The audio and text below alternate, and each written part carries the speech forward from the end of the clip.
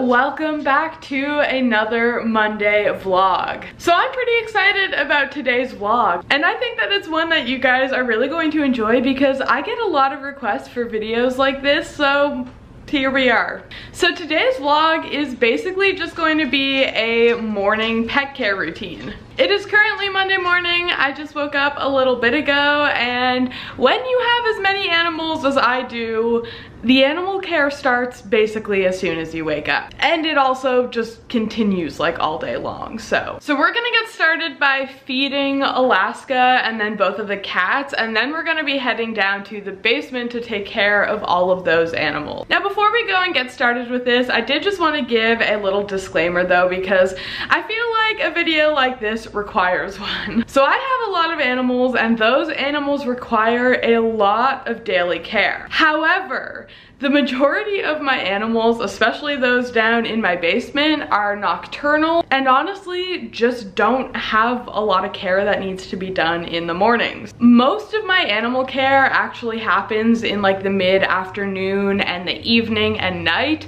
so the mornings are actually pretty easygoing, so I just wanted to put that disclaimer out there because I don't want anyone to think that this is the only animal care I do all day because there is so much more that happens later on so don't think that owning 50 animals is as easy as this video may seem. So with that said, let's just go on with the vlog and let's go feed some hungry floofy animals. Misty? Misty, do you have something to say? Are you hungry? I think we have some hungry animals. What about you, Alaska? Are you hungry? You hungry? Misty? Would you like to say anything else? and then we have Oryx over here who's usually quite quiet when she's hungry, but if she's sitting down here in the dining room, then I know that it means she's waiting for food.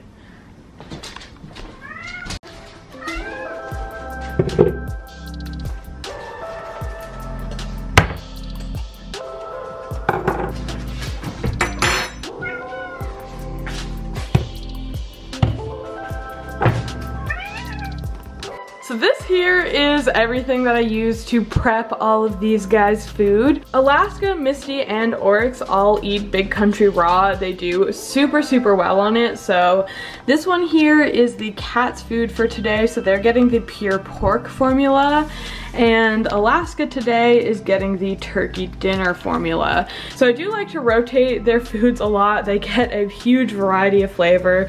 Thankfully, none of my animals are overly picky, so that's really good. But I think we have some hungry guys now, so I'm not gonna keep them wait. Misty, Misty, get out of there. And then of course we have their food dishes and we have some supplements here. So we have a taurine supplement and we have some herring oil.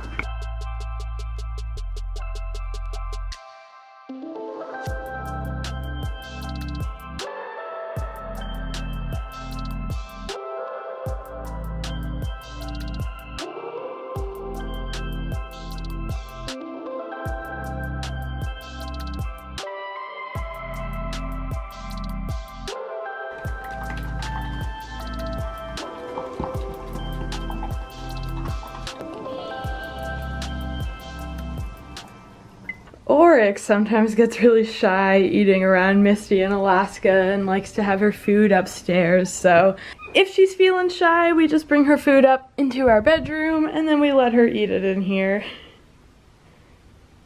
Oryx is funny though, because it's like not a consistent thing. Usually she eats downstairs, no problem, but just every couple days she just doesn't want to. Every few days she demands to have her food up here, don't you?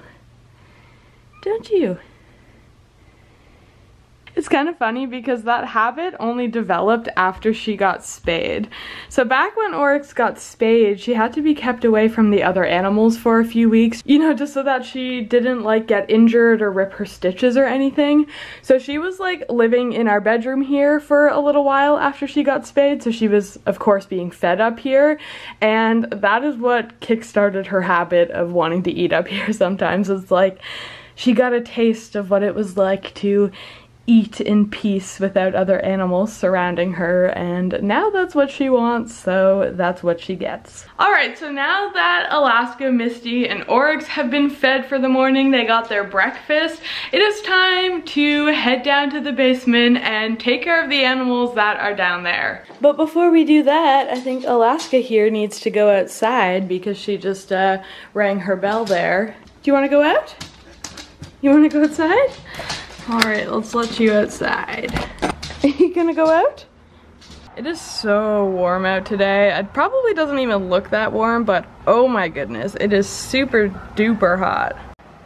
Alaska, good girl, good girl. And here we are, we are now down in my reptile room, ready to take care of the animals that are all down here. So I think the first thing I should do is just turn on the light. And speaking of lights, you may have noticed that like every single light in my pet room is already on despite me not being down here at all today. So every single light that I have hooked up to one of my animals enclosures is on a timer. So every single light down here just automatically comes on and they automatically turn off and I don't have to do anything. So not only are all of my lights on timers, but also every single enclosure that I have that needs to be misted in the mornings is hooked up to an automatic misting system. So again, I don't have to do anything there. It is just all automated. So it's kind of funny. Part of me almost just like feels weird doing this video because, you know, when I say that I have 50 animals, I feel like people assume that it is a lot of work, which is very correct. It is a lot of work. It's just not a lot of work work in the mornings. Like, I don't know, I just feel weird doing this because it seems like I don't really have to do much at all, but like, I promise you I do, just not early in the mornings. So even though all of my animals lights are connected to timers, I have a few that are not, such as my plant light. So we will go ahead and turn this on and give some light to my plants. And there we go, the plants now have light. And I also just need to flip the switch to my rabbit's room. There is a window in there so they do get all that natural light, but I do also just like to have the room light on during the day as well. And so while I'm down in my pet room, I oftentimes like to open the door to the rabbit room to let them come out and explore around. Typically they don't like to go too far, like oftentimes they just hang out in this area over here, but I do like to give them that option, so we do have some bunnies roaming around now. So after I get all of my lights on and taken care of, I then like to go around and check on my animals' water bowls to see if any of them need clean or fresh water.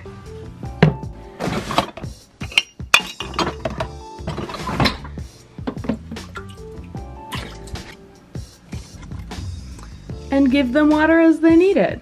So I did just go and refill a bunch of waters last night, so I don't suspect that there will be many that need it, but there are definitely a few that tend to get, you know, a lot of dirt and stuff in them that could definitely use a freshening up.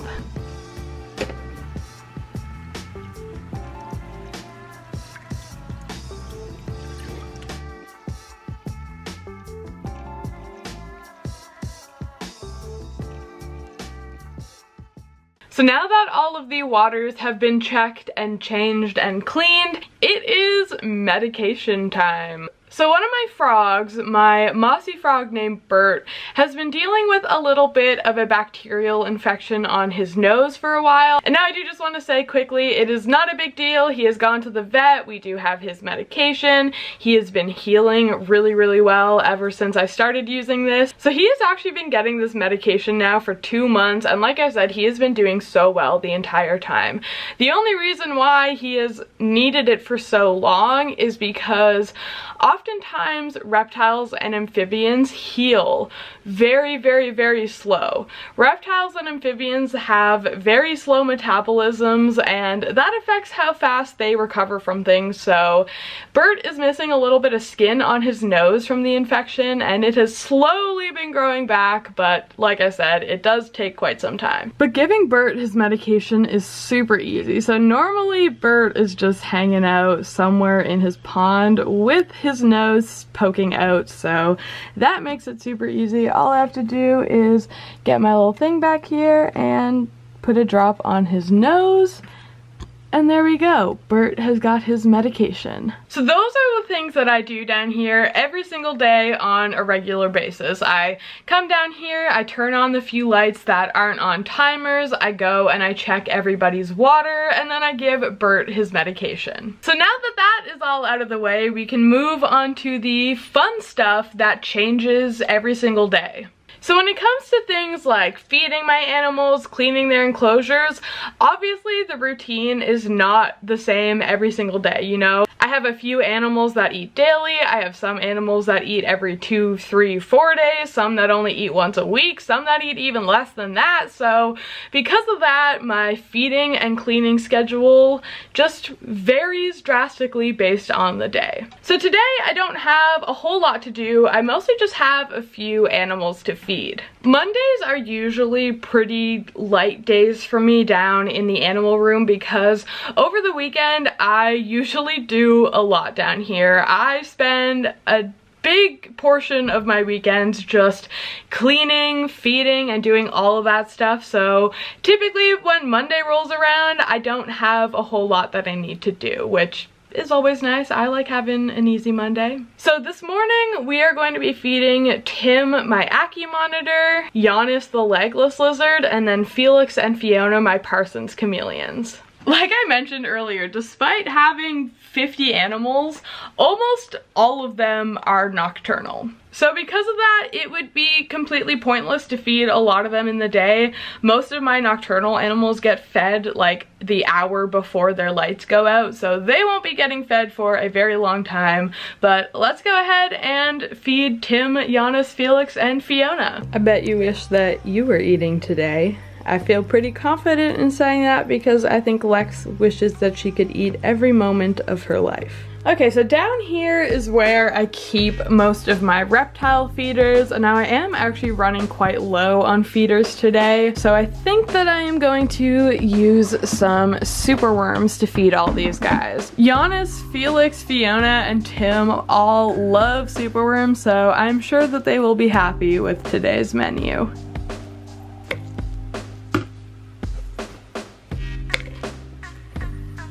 So it turns out that I literally only have two alive superworms right now. I thought that I had more than this, but apparently not. So we're gonna feed these two worms to Giannis because that is a good sized meal for him today. He doesn't need a whole lot. And then we will get some other feeders for the other animals. And to supplement my feeders today, I am just going to be using some plain calcium. All right, so this is Giannis's enclosure here, and I actually have no idea where his head is, but you can see his body right there a little bit, but yeah, I, I don't know where his head is. I'm gonna have to find that so I can uh, feed him. Okay, so his head is right under this hide here. If I lift it up, yeah, you can see him right there. Hello, Giannis. So Giannis is really, really good with tongue feeding, so I'm going to grab these worms. Oh, and look, there he already is, ready to eat.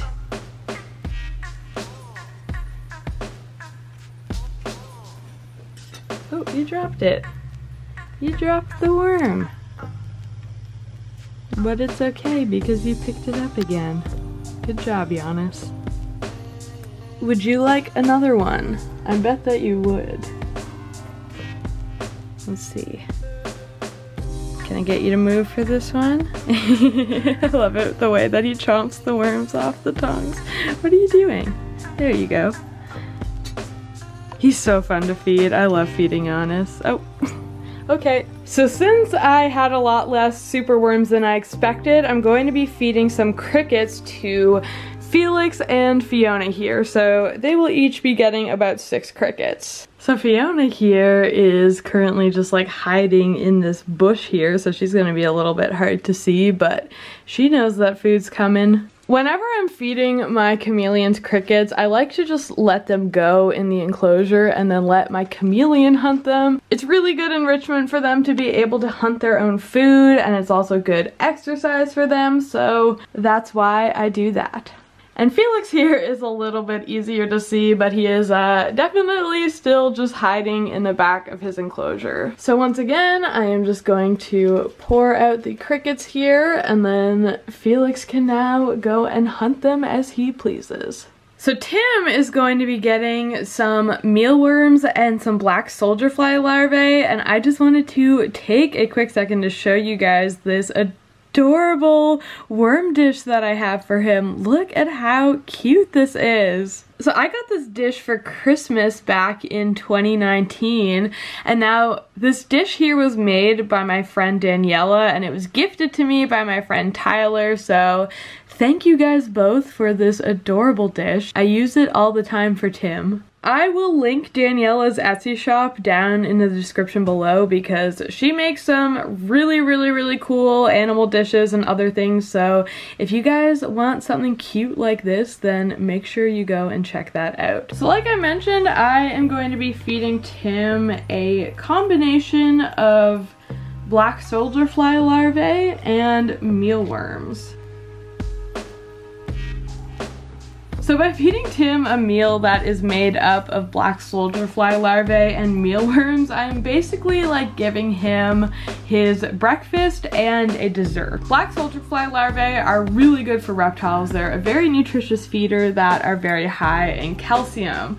And then mealworms on the other hand are not so great. I don't use mealworms very often as a feeder. They're really just like a treat for most of my animals. So that is why I compare this meal as giving Tim breakfast and a dessert. I'm also not going to be supplementing this feeding by the way. I do not supplement all of my animals feedings all the time so this one today is going to go without supplements. Alright, Tim's worm dish has been placed in and he found it really quick and I imagine he's gonna go after these worms now.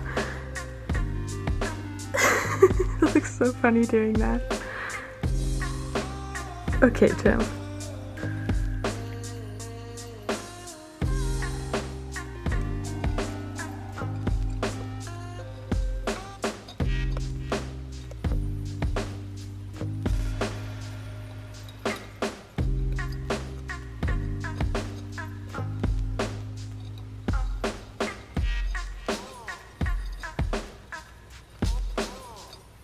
There we go. I think that it is safe to say that Tim enjoyed both his breakfast and his dessert. And there you have it. There is my morning pet care routine for today. So again, like I said earlier, this is not everything that I do for my animals by any means. I still have so much more that I will be doing down here later today, but like I said, it just doesn't happen until later. So if you guys enjoyed seeing this, let me know if you would want to see like a full daily care routine video because that would have a lot more stuff packed into it. But now that all of that is said and done, I am just going to go ahead and end this video here. So big thank you to everyone who watched. I do appreciate it a ton and it really helps me out. If you did enjoy this video, be sure to give it a big thumbs up and also be sure to subscribe to my channel and help me hit my goal of 100,000 subscribers. It's getting so close, so I would really, really, really appreciate you guys subscribing. Also be sure to check out all of my social media. It will all be in the description down down below and I would love to have you guys over there. So make sure you do that. And now with all of this said, I am just going to wrap up the video. Thank you all so much for watching and I will see you all on Thursday.